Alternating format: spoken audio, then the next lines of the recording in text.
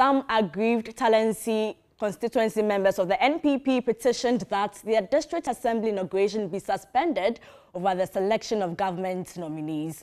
And according to the group, the party's guidelines for the selection of government appointees was not duly followed. They claimed the MP who was supposed to be on the selection panel was not. They requested the right thing to be done for peace to prevail in the district.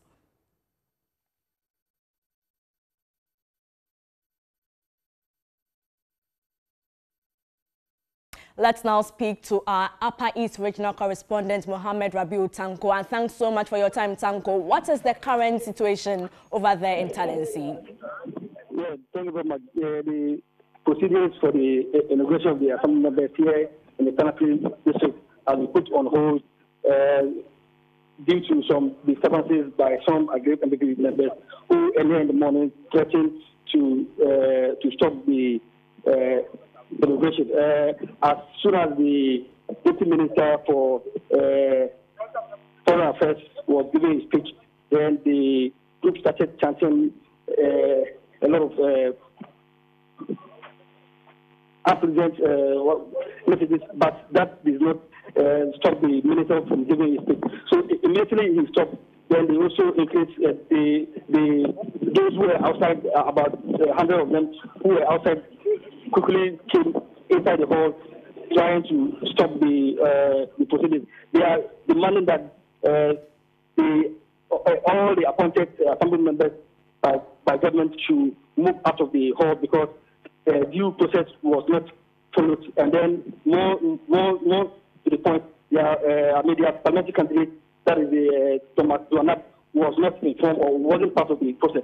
Uh, as I said to you, the minister for foreign affairs and other uh, other delegates, including the MP for the area, Beach Baba, are meeting the group uh, in closed meeting, but the rest of the assembly members are still waiting at the hall uh, to, to see the outcome of the meeting between the uh, minister and then the agreed members.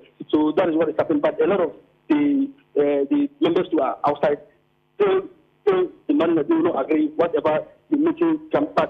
Uh, there's huge security presence from Bolga that have arrived, and then they had some, uh, they have difficulty controlling the group attacks.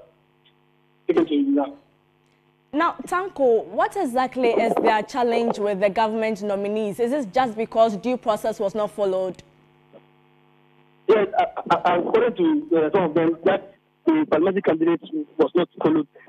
So, because of that, uh, they brought people who are not competent or who are not uh, part of the, the NPP family, and they, they have kept them uh, into the government, uh, into the appointment of the uh, assembly as government appointees. They are not happy with the with the formation of the government appointees, so they want the uh, the process reconstituted or re uh, appointment process should be done.